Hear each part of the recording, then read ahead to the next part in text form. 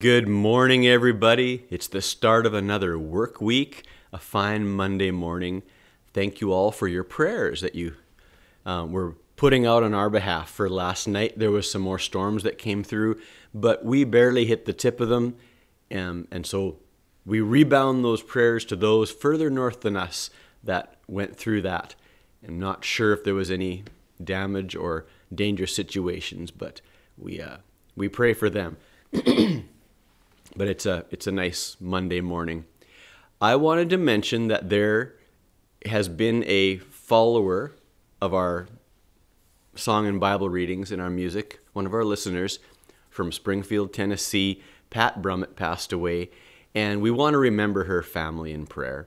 Um, Pat's been a real encouragement to this, what we're doing, to our music, and to me personally, and so we're going to miss her. She lost her husband not too many months before this. And so now she's chosen to go home and be with him. So we remember the family in prayer. And I have a song I'd just like to sing on for her behalf, or part of one. I believe my steps are growing wearier each day. Still, I've got a journey on my mind. Lures of this old world have ceased to make me wanna stay.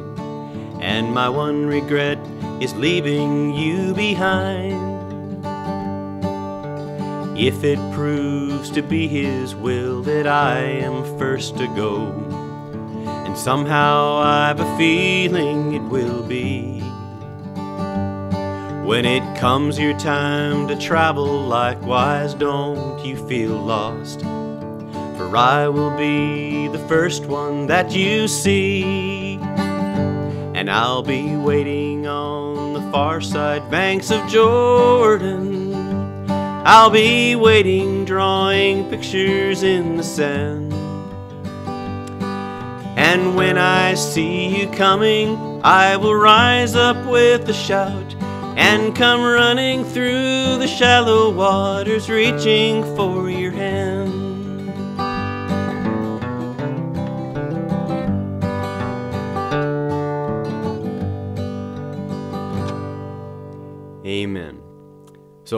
We pray for Pat's family today.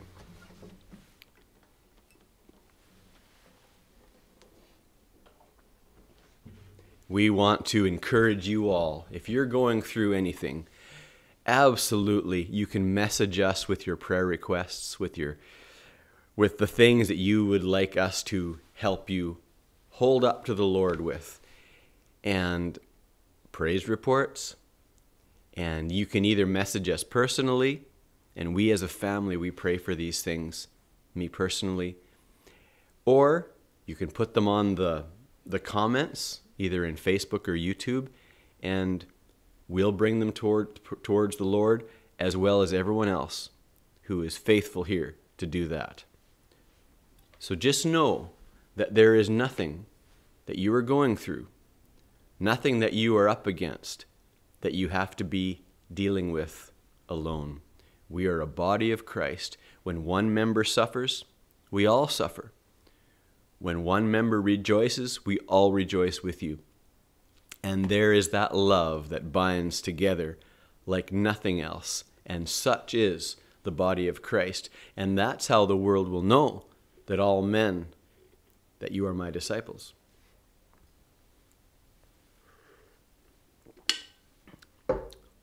So don't be afraid to ask. Don't we are to bear one another's burdens, isn't that right? so we're going to go on in Acts. Again, I want to remind you, Acts it's called the Acts of the Apostles. It's really the pattern for the church. It's really an example for us to follow and uh, for us to enter into. And you might say, well, we're not seeing some of these things happening. God is slowly but surely bringing back all those things that were lost during a dark, dark age, layer by layer, bit by bit. He's bringing these things back.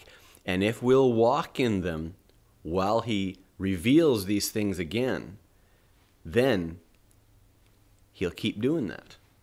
And he has.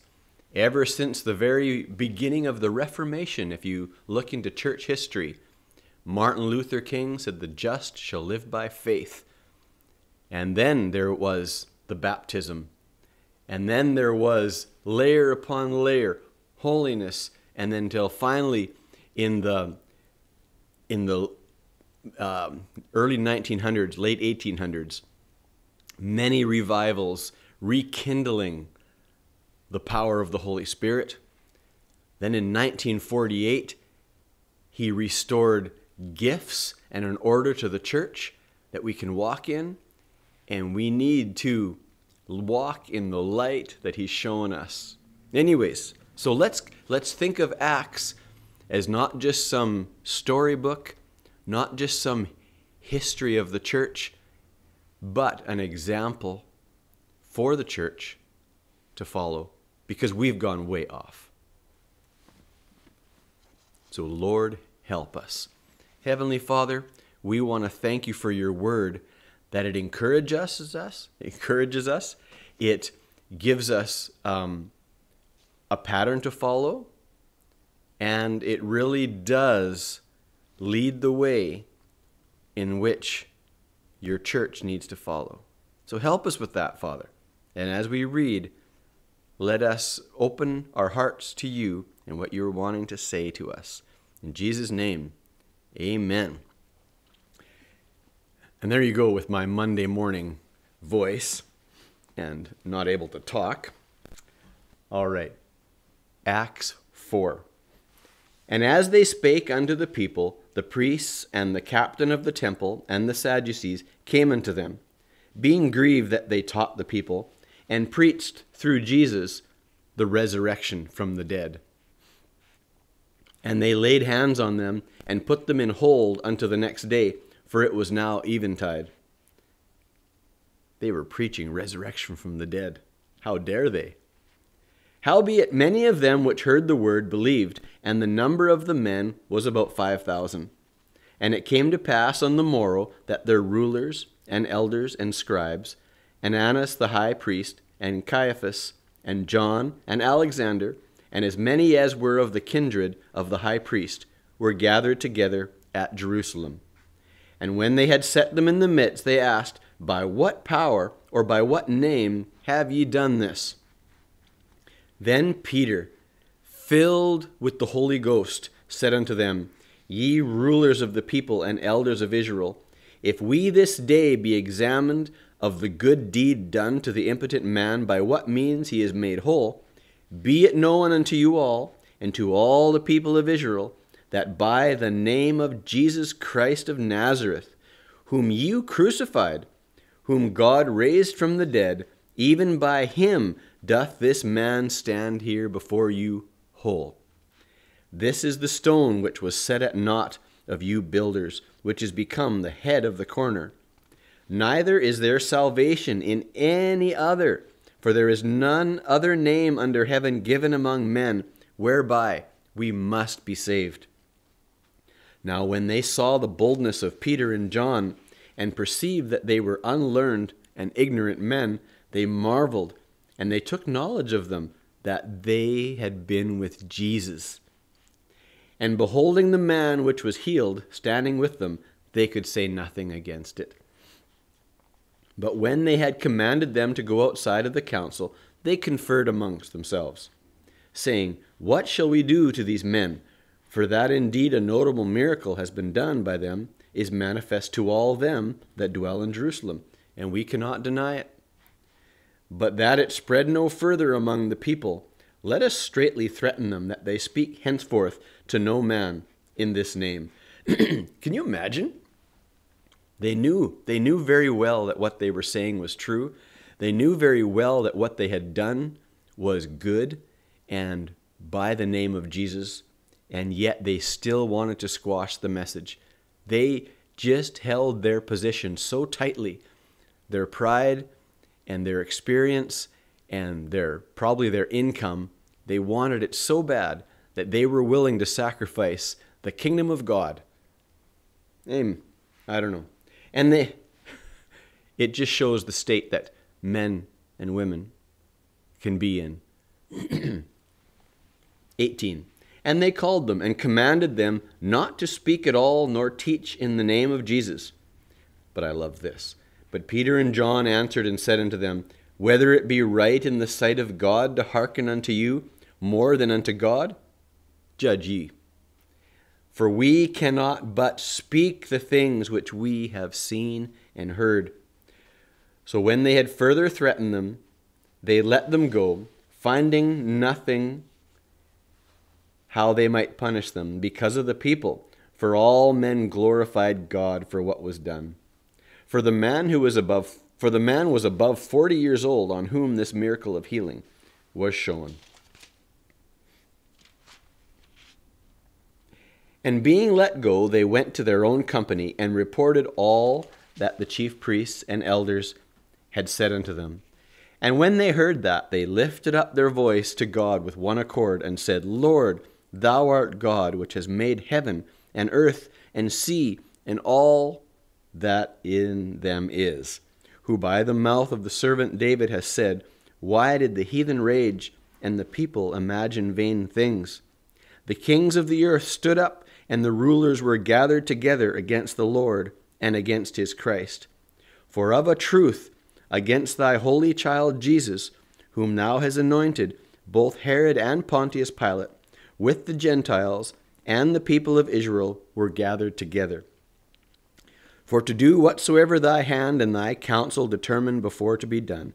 and now, Lord, Behold their threatenings, and grant unto thy servants that with all boldness they may speak thy word, by stretching forth thine hand to heal, and that signs and wonders may be done by the name of thy holy child Jesus.